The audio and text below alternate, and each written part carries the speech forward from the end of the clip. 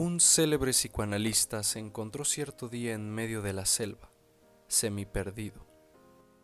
Con la fuerza que dan el instinto y el afán de investigación, logró fácilmente subirse a un altísimo árbol, desde el cual pudo observar a su antojo no solo la lenta puesta del sol, sino además la vida y costumbres de algunos animales, que comparó una y otra vez con las de los humanos.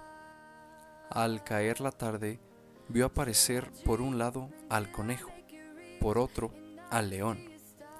En un principio no sucedió nada digno de mencionarse, pero poco después ambos animales sintieron sus respectivas presencias y, cuando toparon el uno con el otro, cada cual reaccionó como lo había venido haciendo desde que el hombre era hombre.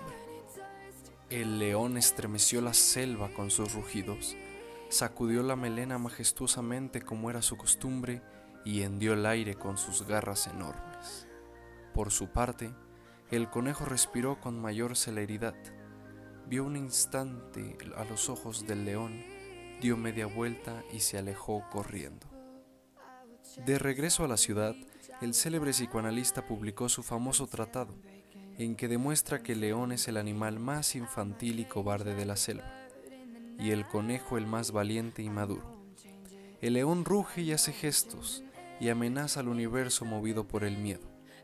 El conejo advierte esto, conoce su propia fuerza y se retira antes de perder la paciencia y acabar con aquel ser extravagante y fuera de sí, al que comprende y que después de todo no le ha hecho nada.